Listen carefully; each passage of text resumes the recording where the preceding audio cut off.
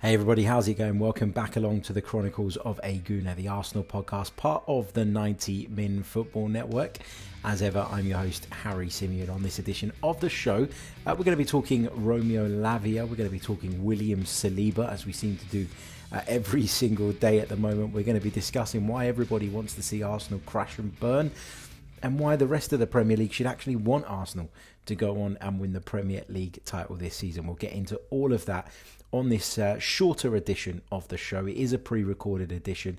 Uh, I am in the 90 Min offices. Uh, lovely uh, bit of uh, memorabilia on the wall. I think I picked the right side room to go into, but just a quick disclaimer you, you might get somebody walking in the door uh, at any point during the live podcast. So um, I say live, it's being recorded. But am I going to sit down and edit that type of thing out? Probably not, if I'm being honest with you. So, anyway, uh, here we are. Hope you're all good. Hope you're all well. Uh, I hope you've had a good Wednesday so far. Uh, just a quick plug uh, for my latest uh, blog entry, which is on the chronicles of agooner.com. I'll leave the link in the description below for those of you uh, that want to check it out. The title is The Rest of the Premier League Should Be Supporting Arsenal on Wednesday rather than being against us. And in that, I talk about the fact that I think it's important for English football actually that Arsenal uh, go on and win the Premier League title. I talk about the fact that Arsenal represent the complete opposite of what Manchester City are. And i I want to be careful because what I'm not trying to do is to say to Manchester City fans, oh, you shouldn't be able to enjoy the success that your club is currently having because of the way the money came about, etc., etc. The fans are faultless here, right? The fans are not to blame uh, for any of that stuff. Uh, but the point I'm trying to make is that as a, a football fan of a certain generation, I know I'm, it makes me sound really old when I say this, and I'm not old, but I think football fans of, of certain of a certain generation and of a certain age um, have sort of a very different set of values when it comes to the game, and I think that a lot of those values and a lot of what we used to hold dear has been compromised in recent years. It's not something that's just happened yesterday. It's it's been going on for a little while. Um, you know, history, class, tradition, all of those things are becoming a little bit irrelevant in that there are clubs that I would say are medium-sized clubs uh, who have sort of attracted very wealthy owners. Those owners have come in, put crazy money in in terms of the investment, and um, and now the problem is is that uh, you know we're we're sort of seeing a shift, the power shift, where money supersedes everything in football. All of those things I've mentioned history, class, tradition, uh, size of your fan base, etc., etc. So we're going down a different path. The game is changing, not for the better, in my opinion. Um, and I kind of just encapsulated my thoughts on that subject in this blog. It's not a very long piece, um, but I think you'll you'll find it to be something that a lot of you will probably agree with. I might be sort of jumping the gun in, in, in thinking that, but I think a lot of you will agree with the sentiment of it.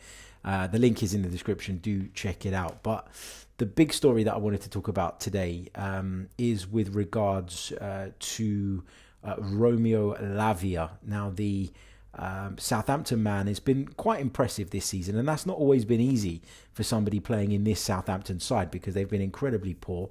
They're down at the bottom of the table. It looks as though they're going to get relegated, and so naturally, what happens when you get to this stage in the season and a club like Southampton are staring relegation in the face, people start to get linked with their better players, of which Romeo Lavia is certainly one. Um, I've seen him a couple of times live this season, and I thought he was really, really good. Uh, looks mature beyond his years, looks like he's technically sound, and looks like he has all the physical attributes that you want in a central midfield player. I think if you fast forward four or five years, we might look at him and think he could play the Thomas Partey role for this Arsenal side. But of course, you know it is um, it is early days for Romeo Lavia, and this is where clubs now uh, that will be looking at him need to make the decision as to whether they see that progress, how likely they see that progress, um, you know, sort of happening, and whether or not he's worth taking a bit of a punt and a bit of a gamble on. And I say gamble, look, people will look at that and go, that's not really fair because you know he has performed. He's been one of the shining stars in a really poor team that have, have not done much this season, um, and and so to kind of judge him too much on that basis is maybe unfair. I mean, I was looking at his heat map earlier on, and he literally covers pretty much every blade of grass. He's all over the park, so mobility is definitely there. technical ability is there, um, and and obviously the fact that he's just I think 19 years old at the moment makes him a real hot property and someone that I think a lot of, of teams will be looking at. According to SofaScore, his valuation at the moment is around about uh, 20 million pounds. If you look at um, Transfermarkt, it's about 21, 22 million pounds.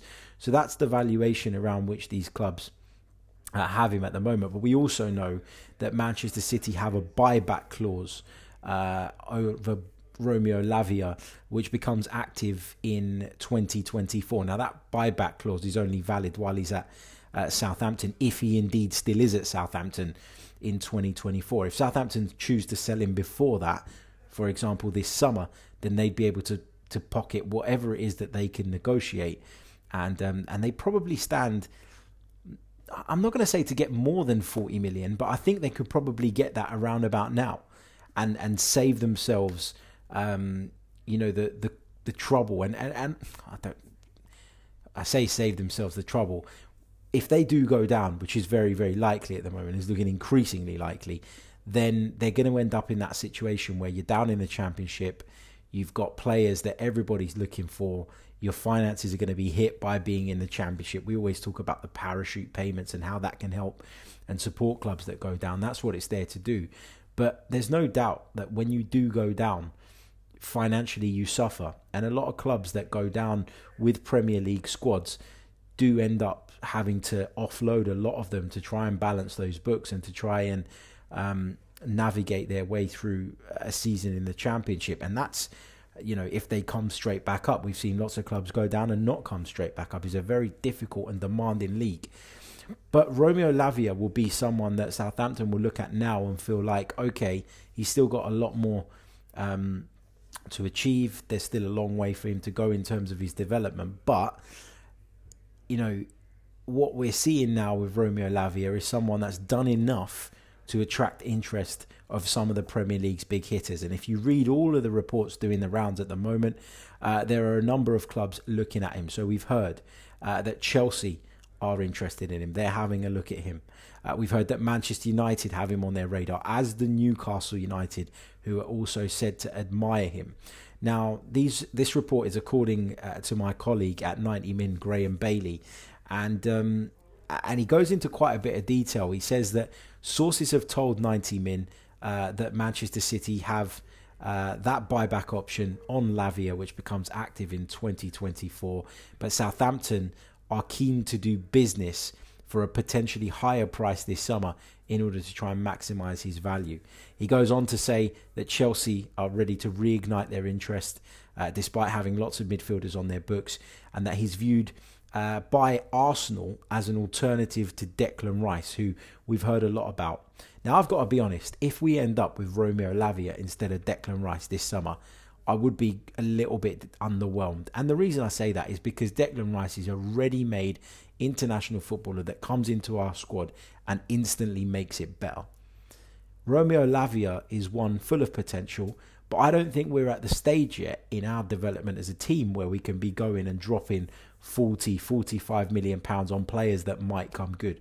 I think we've done that already on a couple of occasions. Fabio Vieira is a good example of that. 35 odd million pounds on him. And has he come good yet? I'm going to give him the benefit of the doubt for a bit longer, but I need to see more from him next season to suggest that that or to justify the fact that we spent that type of money on him. So it's going to be really, really interesting to see how big Arsenal go in the summer. Now, we've seen Arsenal spend money over recent seasons. And one of the things I've repeatedly said to you guys is that given what we know about our ownership, that is going to stop at some point or at least calm down. But hopefully, having you know secured Champions League football, which we're just a handful of points away from doing, that will give the club the financial boost that they need to be able to continue to spend and to continue to improve this squad, develop this squad, and to continue to build uh, what Mikel Arteta is wanting to build and to help him in terms of being able to go uh, and fight on multiple fronts in terms of being able to last the distance, which we still don't know if we can do just yet. Um, you know, there's seven Arsenal games to go in the Premier League, and you know it could end in glory, it could end in disappointment. Although whatever way you look at it, and, and however way it goes from now on in, you'll say it was a successful season for Arsenal, but you know, there's a chance to make it a really, really special season. And there's a chance that we might just fall short because of injuries, because of players losing form at a key time. And and if we had a deeper and stronger squad, I know it's all ifs and buts, but you'd feel more confident in us being able to go on and finish the job. So we certainly do need to bolster in that area in the summer. Thomas Partey, impressive player, fantastic player. Had an off day at West Ham. We've spoken about that at length, but he's a top top player. Beyond him, though, I don't think we have that type of midfielder of the right profile to be able to come in and eventually take his place, eventually replace him. Jorginho was signed on the short term. That's worked out okay up until now, but it was very much a deal for the short term. It was never something that Arsenal were looking to do for the longer term for a number of reasons. Jorginho's age, Jorginho, you know, isn't really the exact type of player that you're looking for. He's not a like for like with Thomas Partey. He's got some of the same qualities in that he's quite press resistant, quite good on the ball, good at line breaking with his passing, but he isn't anywhere near as mobile enough, for example. So Arsenal know that. Arsenal are well aware of that. And um, yeah, it, it kind of is what it is. We've we've got to see how the summer unfolds. I said to you guys I don't want to get too caught up on transfers. I don't want to get too um, absorbed in by all of these stories, and that actually the focus should be on the football right now. But I expect somebody at the club, probably Edu, to be already looking at this stuff, to be already across it, um, because as we've seen in recent seasons, with a lot of these deals, if you snooze, you lose. So we need to make sure that we know what we want to do in the summer, that we know where we're at, that we know what we can do, that we know what we can't do, and that we have that shortlist ready to go when the summer comes along and we can continue to bolster the squad and build. So I really like uh, Lavia. What I've seen of him has, has impressed me, um, but I also acknowledge that at 19 years old, you're talking about someone that could blow up or you're talking about someone that could flatter to deceive. And that's my concern about this. You know, for example, if, if Southampton dig their heels in and say we want 50 55 million for Romeo Lavia, which I think would be outrageous, but I wouldn't put it past them. And you're telling me that Declan Rice is available for 70, for example, then then I'm going with Declan Rice all day because I think that is someone that can come in and help us instantly. There's an element of risk in going for someone like Romeo Lavia, and it's on the club to decide whether that risk is worth taking. So, yeah, it's going to be interesting uh, to see if this story develops. But according to these reports, uh, he is seen by Arsenal Football Club as a potential alternative for Declan Rice. Will he end up at Arsenal? We'll soon find out, I'm sure. Uh, just looking at some of the statistics around uh, Romeo Lavia's season so far, uh, he's played 22 times in the Premier League, started 19 uh, of those games. He's got just the one goal in the league, but that's not really uh, what he is about. Um, in terms of um, accuracy 87% pass accuracy, uh, 90% in his own half, 84% in the opposition's half. Um, averages 1.1 interceptions per game, 1.9 tackles per game.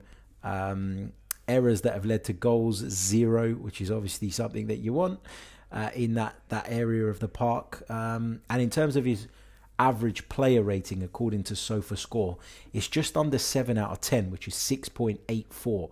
Now, normally I'd look at that and go, well, that's not very inspiring. You know, it's 7 out of 10 is, is good, it's solid, but is it something that will make you go, wow, I should go after this player? But the, the truth is, look at the shit season that Southampton have had. Look at where they are in the league. Look at the struggles they've had. Look at how many managers they've been through it must be incredibly difficult to perform under those circumstances. So for him to even have uh, a decent sort of rating, um, you know, on the board, I think is is something that I think we should take encouragement from, and and something that he deserves probably more credit for than he'll actually get because just under seven out of ten in a side that has underperformed in the way that Southampton have. I mean, I say underperformed. I think a lot of people expected them to be in trouble, but yeah, it's just um, interesting, isn't it? Uh, really, really interesting. Okay, uh, so that's that. Now, William Saliba, what's the deal with him? Um, we spoke about him at length on yesterday's show with Dan Potts. Check it out if you haven't done so already.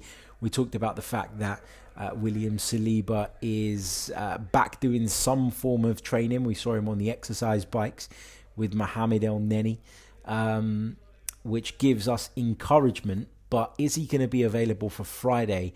I don't think he is. According to reports, he's not likely to be. I think Kaya Kaynak of Football.London put that out earlier today, and I agree with him. And even if there is a chance that Saliba will be back on Friday, I think you probably don't risk it.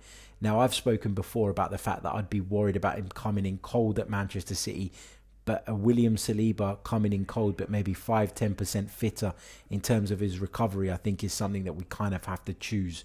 Uh, over this game against Southampton, which won't be easy, by the way, and we'll be previewing at length on tomorrow's show.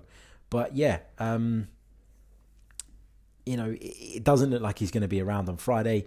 I'm okay with that as long as we can try and get him back in the picture for City because I'm really, really worried about going into that game with Rob Holding at centre back. I'm sorry, I know people keep saying you've got a Rob Holding agenda, blah, blah, blah. I, I genuinely don't. I just think the level of the two players is so different.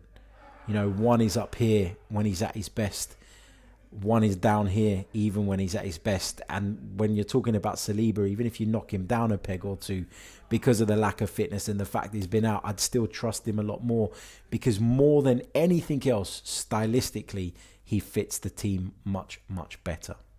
So that's the latest. Um, on uh, on Saliba. Uh, we've talked about Romeo Lavia. Um, I'm not going to spoil the blog too much. Um, the link is in the description. Check it out. Uh, but on the blog, I talked about the fact that the rest of the Premier League should want Arsenal to go on and win it, and um, and I detailed uh, some of the reasons why. So please uh, do check that out as well if you haven't done so already. The website is brand spanking new www.thechroniclesofagooner.com. I think we've only put uh, one or two posts out previous to this one. Um, and they did some really great numbers, which I, I, wasn't expecting given it's a brand spanking new website. Uh, so any love on the website will be very, very much appreciated. Share it, retweet the article, which I've posted on my Twitter at Harry Symeou. Um, I've put the link in the community tab on the YouTube channel as well. So any love there uh, would be helpful as well as uh, we look to get the word out. And, and the more traction we get, um, the more I'll be able to dedicate some of my time uh, to writing more of those and to provide uh, producing other content uh, for the website as well. So um, yeah, thank you guys all so much. Again, apologies, it's not a live version today. I did say to you guys that I'll keep the time slot and I'll make sure the consistency is there, and I am doing that.